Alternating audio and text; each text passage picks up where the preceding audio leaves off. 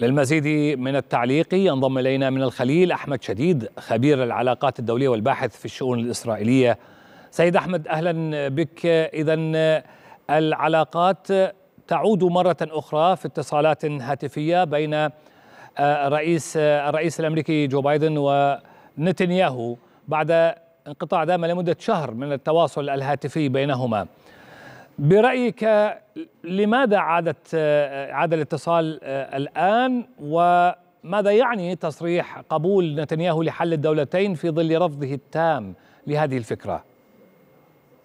يعني أسعد الله صباحكم بكل خير. الاتصال الأمريكي بالأمس بالرئيس الإسرائيلي برئيس الحكومة الإسرائيلية بنيامين نتنياهو جاء ليكسر جمود بين الشخصين استمر لأسابيع طوال على غير العادة الأمريكية العلاقة الأمريكية الإسرائيلية خاصة في أزمات الحروب أوقات الحروب التي نعيشها في أيامنا هذه. ولكن الغريب بالأمر بأن ما تقدم به جو بايدن من مقترح هو في الحقيقة مقترح لبنيامين نتنياهو منذ العام 2010 2011 قدمه على شكل ورقة عمل في إحدى المعاهد الإسرائيلية والتي تمثلت بدولة فلسطينية منزوعة السيادة عن الجغرافيا الفلسطينية المتمثلة بالسلسلة الجبلية بالضفة الغربية إضافة إلى نزع السيادة الفلسطينية عن منطقة الأغوار ودولة منزوعة السلاح وإضافة إلى سيطرة الأجواء الإسرائيلية بالتالي هنا الآن ما, ما قدمه جو بايدن حقيقة. وإن لم يكن تعهد وإنما على شكل نقاشات بينه وبنيامين نتنياهو لا يعتبر تقدما في الموقف الأمريكي على الأقل من وجهة نظري. إنما هو إعادة لمقترح تقدم به نتنياهو منذ أكثر من 13 عاما. إذا ما زلنا نحن بما يتعلق بالموقف الأمريكي تجاه القضية الفلسطينية نراوح مكاننا يعني يعني التصريح الأمريكي هنا يمكن أن نعده مراوغة سيد أحمد يعني بالحديث عن حل الدولتين. والحقيقة أن الحديث عن حل الدولتين وفق رؤية نتنياهو.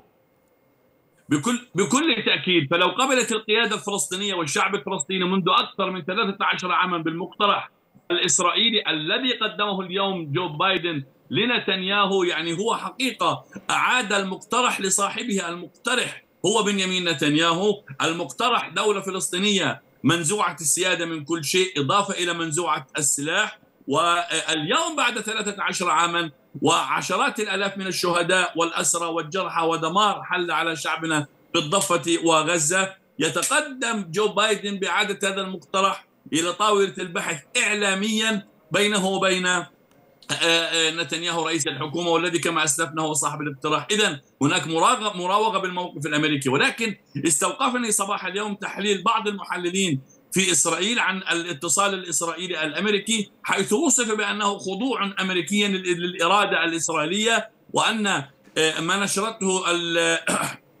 الجيروزالم بوست حول مهلة منحتها إسرائيل لحزب الله أو للأطراف الدولية للتوصل لحل لغاية نهاية شهر يناير الشهر الحالي وإلا ستذهب إسرائيل لتوسيع عملياتها العسكرية، اذا نحن أمام مراوغة أمريكية، أمام ابتزاز اسرائيلي للإدارة الأمريكية. في الوقت الذي ما زال شعبنا يذبح ولم يتقدم الأمريكي أو لم يغض الأمريكي البصر عن أي مقترح يوقف عمليات القتل التي تمارس ضد أبناء شعبنا ليل نهار.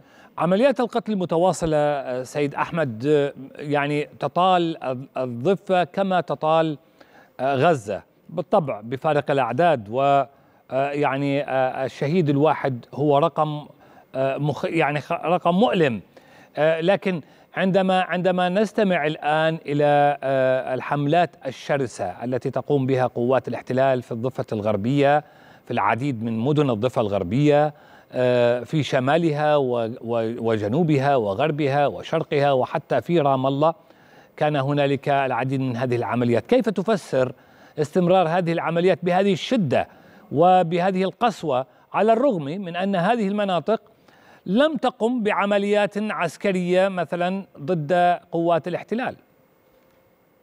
يعني أشكرك على هذا السؤال الرائع. اولا المشروع الصهيوني هو في الضفة الغربية وسبق للاحتلال الإسرائيلي أن انسحب من جنوب لبنان في 25 25 أيار 2000 وانسحب كذلك في في أيار 2005 من من أراضي قطاع غزة. منسحبا وجارا معه المستوطنات جوش قطيف موراق وما إلى ذلك هذه المستوطنات. إذا المشروع الصهيوني التوراة التي تستند إليه الحركة الصهيونية بالترويج لمشروعها وإقناع اليهود في العالم به هو على أراضي الضفة الغربية. وسبق أن تحدثنا وقلنا بأن مملكتي يهودا والسامرة إضافة إلى القدس حائط المبكى بين مزدوجين هو في الضفة الغربية التي احتلت عام 1967 إضافة إلى مسألة في غاية الأهمية وعبر عنها نتنياهو منذ منذ سنوات وسمودريتش وبن كبير وهو فكرة التهجير من الضفة الغربية استكمالا للمشروع الصهيوني. الآن لدينا في الضفة الغربية أكثر من 600 ألف مستوطن موزعون على كافة أرجاء الضفة الغربية وبالتالي فكرة آه، بايدن إنشاء أو إقامة دولة فلسطينية اليوم بهذه الشعارات الواقع على الأرض يدحضها وينفيها ما لم تقوم وحكومة الولايات المتحدة الأمريكية على الأقل على الأقل بوقف المساعدات للمستوطنين. وهناك دراسة آه، يعني تم إعدادها لدينا بالمركز منذ أشهر.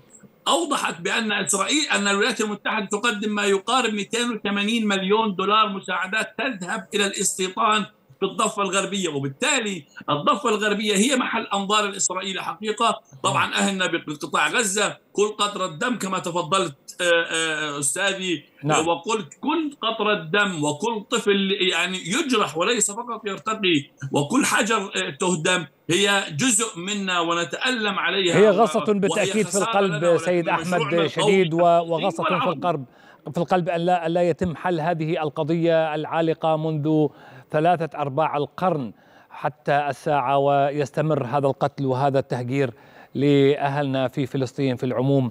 السيد أحمد شديد خبير العلاقات الدولية والباحث في الشؤون الإسرائيلية شكرا جزيلا لك ولمداخلتك معنا في هذه التغطية. شكرا لك من رام الله.